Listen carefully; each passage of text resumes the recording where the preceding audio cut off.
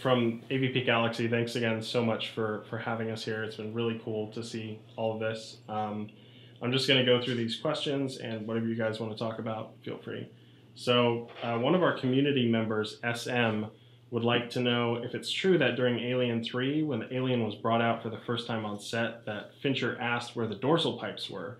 Uh, it had apparently been previously decided not to have them, and some had to be very quickly created and didn't look quite right and were ultimately discarded. I think SM has got that wrong. You've been given wrong. some bad information. yes. Um, yeah. No. We. Uh, we. It was in the design. Um, you know, from the get go, he felt we actually wanted them, right? hmm And we wanted They to helped. like They helped. I mean, for the same reason they were used on the first movie, it, because they hid the, the shape of a, of a guy, two arms, two legs. And Fincher's concern was when it was running on all fours that these things would stand up like a like a kitchen table or something. And we said, well, why don't we mechanize them so they lay back like when he's getting ready to. to right? But he was like, eh, nah. Okay, and Tom, you said in the past that you pitched an idea for Alien 5, but I don't believe you've ever spoken in any detail about it. I was hoping you might be that. able to share some details about what an Alien 5 helmed by yourself would have looked like. It would. It, it- we're just talking about what would have happened if I'd done Alien Yeah. Five. It would have broken box office records, and it would have made everybody happy. And no, I, you know, um, hmm, I don't remember.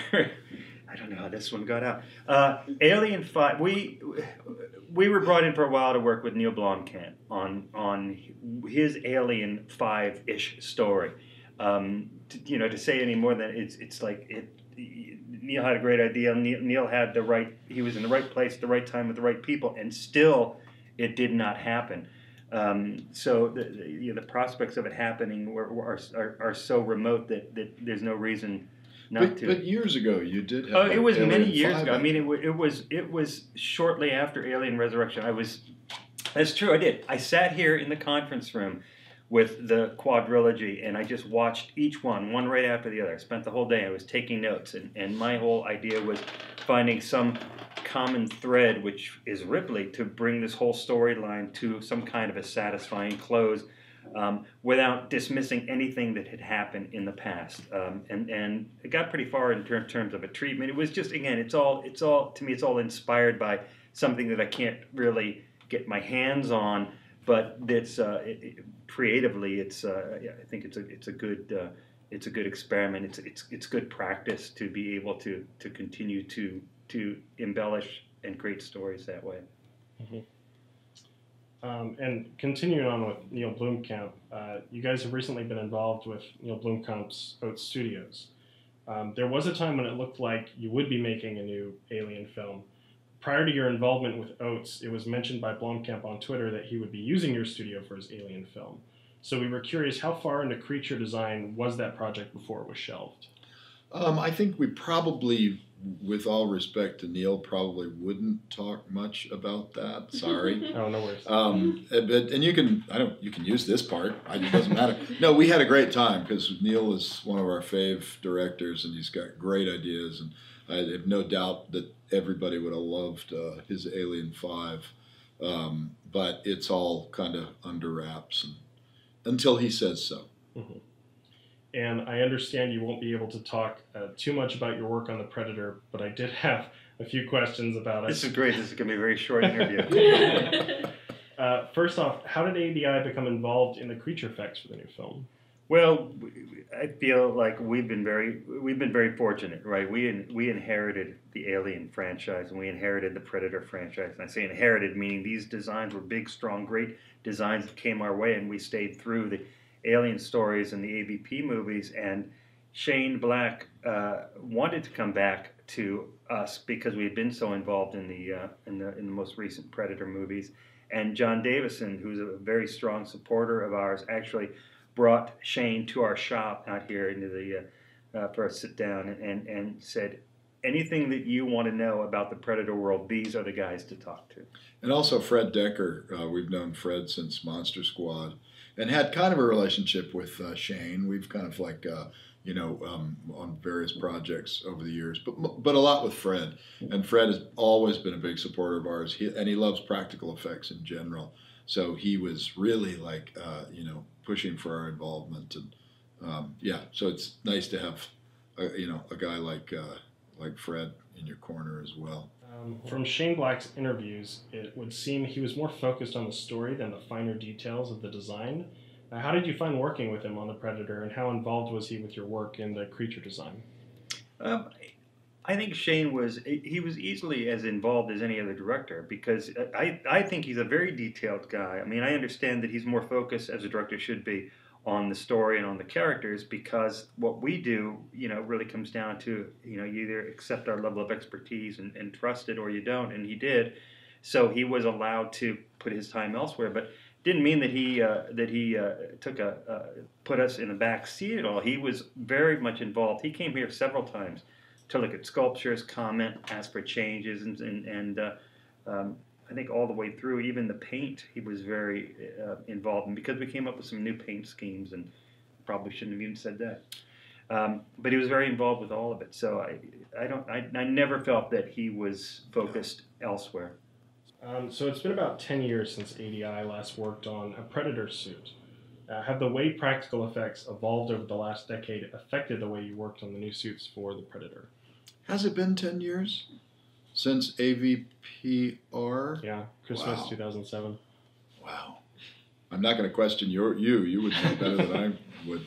Um, yeah, the suit technology um, is, um, uh, you know, it's always evolving to a certain extent, but not necessarily being revolutionized. Uh, it, it works. It, it, works very well, uh, and, and that's part of why people keep using men in suits because they look great and uh, and and we know how to make them look great. So uh, really, more more what it gets down to is design changes. Uh, you know, just just tweaks on the existing predator and um, creating new characters that look like they are you know still predators but have something unique about them. And, um, and then the biggest challenge is just not saying too much about the movie and being asked relentlessly asked these questions. I'm starting to feel worn down. All right, here's the story. Apparently, there's already a script out, oh. but we don't know if it's the real script, do we? No. Uh, from what we understand of the film's creatures, the Predator seems to be taking influence from some of the unused concepts from Predators, the previous film uh, produced by Robert Rodriguez. Uh, did the previous film influence your work on creature design in any way for the Predator? Pure speculation, no, sir. I I'm, I don't know how much we should be saying about this because if if the I mean maybe it did. Uh, you know, I could just easily see that phone call from someone we'd never met, saying, "What are you doing?" of all people, AVP Galaxy, you blab. So you were not involved with Alien Covenant, but one of the primary complaints from fans was how the practical effects created by Odd Studios were painted over with CGI. Uh, quite like your own practical work with the Thing prequel. Uh, why do you think it is that studio executives are so wary of practical effects these days when overuse of CGI is such a prominent complaint among audiences? Wow, it feels it feels like to to uh, to condemn producers in general for their lack of, of, of faith in, in whatever the plan is for you know practical effects. I, th- I think it's it, it goes a little too much, but it's it's it's crazy. I don't know this microphone. It's crazy um, I think part of it, and again, I, I think because we talk to producers a lot who who embrace practical effects.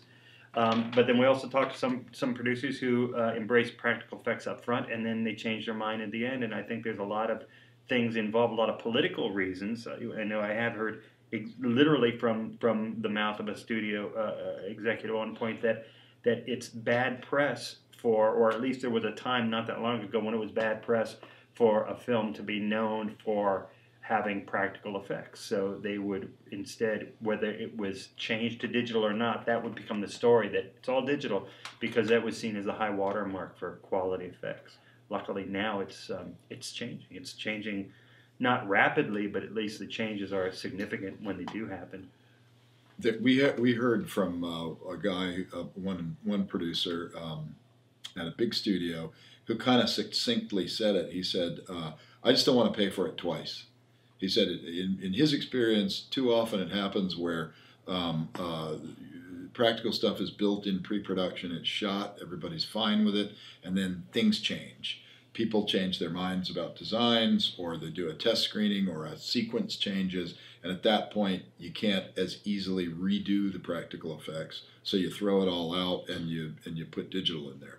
And and the from our point of view, the the problem is that movies now have less prep time than they used to. You know, we on on Aliens or, or Alien Three, we'd have nine months to build before we even start shooting. So in that nine months, um, the plan is being laid, storyboards are being made, scripts being refined, and you're not running rushing into a production uh, prematurely. Nowadays, they give you about three months of prep time, and that's not just us; that's across the board, every every department. So it's only natural that you're going to have built-in um, shortcomings in the production that at some point are going to be discovered, whether it's story or technical, what have you. And then in post production, really your your your only option at that point, uh, or, or, or the go to option, I should say, is digital. It's much more expensive than practical, but it is the thing that allows you to delay decision making and all that kind of stuff. So, um, you know, will it swing back to where they give people enough time to properly plan and, and make and mount a production um, without having to go digital? I don't know. It's it's once Pandora's box is open.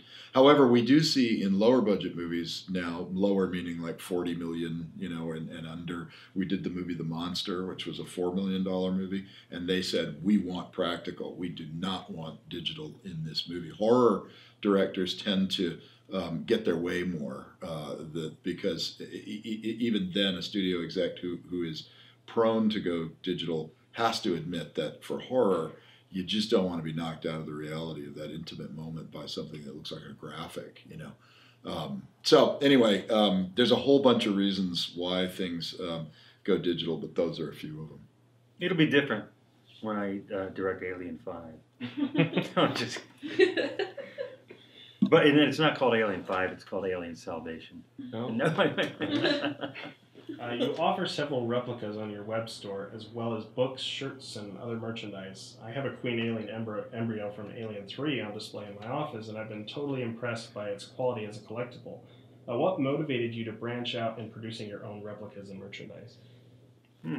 Well, I, I think for, for, for me, I love the idea that because I'm I'm somewhat of a collector, probably less now than when I was younger, but I love the idea that that a, a, a fan, a follower, somebody that loves ADI, loves the work of ADI, can have something in their hands that actually came from the mold of the original piece. So I mean, you can't get any closer than unless you own the actual thing, which in many cases they don't exist anymore. So this is a way to really give the fans something special and something that's very real and personal that came out of our studio by the people that actually worked on the original films. Uh, one of the reasons I'm here visiting LA is to attend Universal's Halloween Horror Nights. I've always really enjoyed this event and how they have a full studio to work with. A few years back, they did a AVP maze using the molds of yours from AVPR. I was wondering the extent of your involvement with the Halloween Horror Nights team and if you had the chance to experience the maze yourself.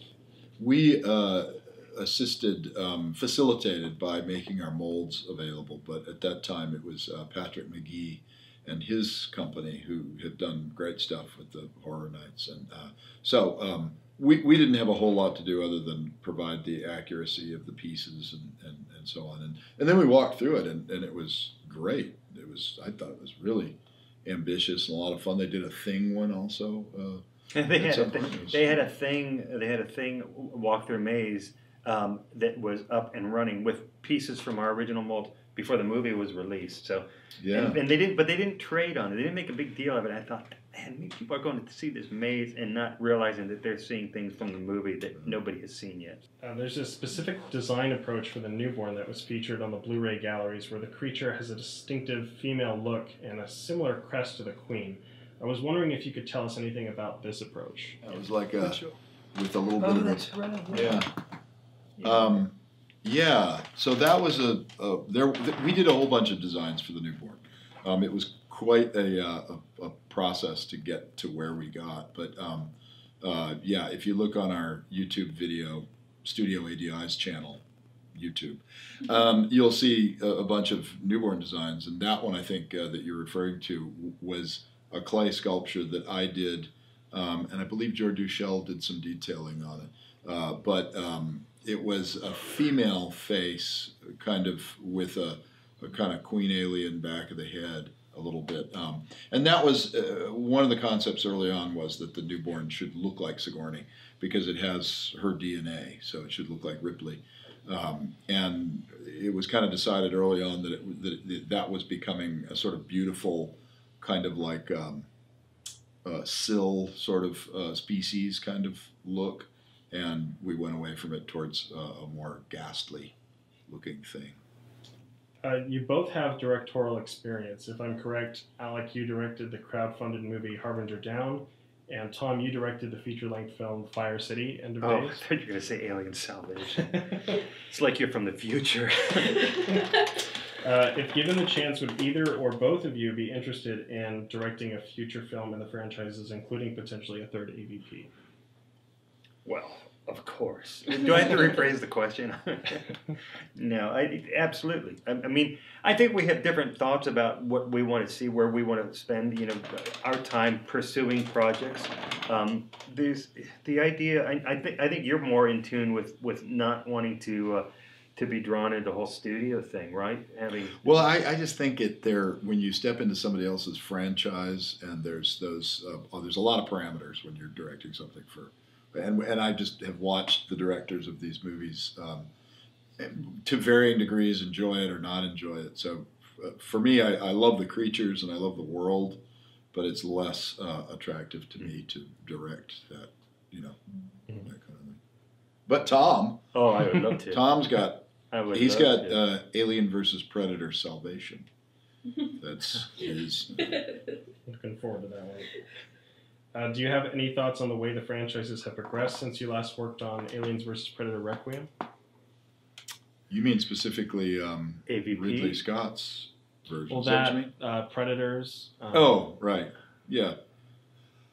You know, I guess with those, with the Alien movies and the Predator movies, I'm really excited about Shane Black's Predator movie because, from what we've seen, it feels like it's it's coalescing everything that you loved about the Predator. It's got the right tone. It's it's just I just really thought the script was a lot of fun, and Shane Black is so talented, and he's got you know characters and ensemble and relationships you know he does he's he's got his his very specific and successful take on it so i have i'm thinking that that's uh, the necessary juice that the predator franchise needs a lot of a lot of hope for that um, and then in terms of avp uh, you know from what we've heard the, the studios are not uh, the studio is not really interested in avp right now um, i think it's a blast i, I think that you know um, that they're fun movies it's a fun concept but but and, and i think that it's possible that it could be elevated also. Would Um, you direct an AVP? That's you, Tom. You're going to sign your name on that dotted line. No, mine is Alien Salvation, not AVP. Alien Salvation with Predators. That's the pitch. That's the ticket. Mm. And did you guys have any personal opinions on Predators, the third Predator film? Um, I think it was KNBFX who Yeah. did the Predator suit for Yeah. that. I thought the Our- creature stuff looked great. The movie was fun. It was like, like to me, so much of this stuff has become at this level when you get into like uh, this many movies into a into a, franchise, um, it starts to become like the comic book world where there's all these kind of spin-offs and different views, and I think it's a lot of fun. You know, I, Yeah. it, it had nothing. It had very little to do with the Predator storyline that was established, you know, from the very beginning good or bad. I'm not saying it. just it's just it's an it's an interesting thing, and and uh, you have that many different versions of monsters. For me, I love monsters, right? Like most of us. So so it was a lot of fun. Um, I just want to say a massive thank you for the invite uh, to the studio. Fans like us have been loving these creatures, uh, these creature effects and artistry for many years, and seeing them in person has been truly special. Uh, before we conclude, is there anything you'd like to say to the fans that I haven't given you the opportunity to express? Uh, I guess I would uh, take a moment to do a little uh, promotion uh, for for the studio, for our studio. Um, this is 2018 is our 30th anniversary as a company, so we're very excited about that, and we're going to have some really, uh, really fun announcements to make, and sort of uh, a lot of it is is kind of. Um, uh, brought about by the fans because you know through social media, which we were not a part of for a long, long time. We came to it pretty late. we discovered that there's a huge community like the folks you represent who love practical effects. They love aliens. They love predators. They love monsters, and um, it's kind of reinvigorated us a, a, little bit. And so we have a uh, we're kind of on a um, entering an exciting phase where we're sort of you know. Um, we're going to promote the craft as we always have, and we're going to reach out to the to the fans of practical effects to help us promote it, and we're going to keep our artists busy and and you know make sure that uh, they keep bringing you guys what you love. We're going to do everything we can to to to self sufficiently do that. So uh, hopefully you'll be with us when we make those announcements and we ourselves we like being fans. We like we like that there, there are fans out there that love the same things that we love and we love to give them as much as we can. Um, so we thank you guys in return for being out there. And also just a note to flood 20th century fox with emails and letters about when are we going to see tom woodruff jr's alien salvation. All right you're well. laughing. This is not i know but i'm just kidding well, but for real. But, I'm, but for real. yeah. But no, shh. well, thank you for your time. Okay, thank you, guys. Right, let. Huh? Before you turn off, you want to plug the newsletter? Oh yeah, sure. Uh, we have a fun thing that we'd like you to be involved with. It's um, the Alien Salvation. Well, not. I wasn't going to say that one, but I was going to say the um, Studio ADI newsletter. Um, which you'll provide a link for, won't you? Certainly. Uh, and then you can also follow Tom and Alec on the old IG. You know what IG is, Tom? Instagram. Mm. Yeah. Forget about the TG, the Telegram. Or the CG. Oh, forget about that. Gram. oh, I thought you were talking about. No, we've said plenty about. Anyway, yeah, the social media is how you can find us. A newsletter, that's a great way to go. We'll throw it on your porch every week or so when we get around to it.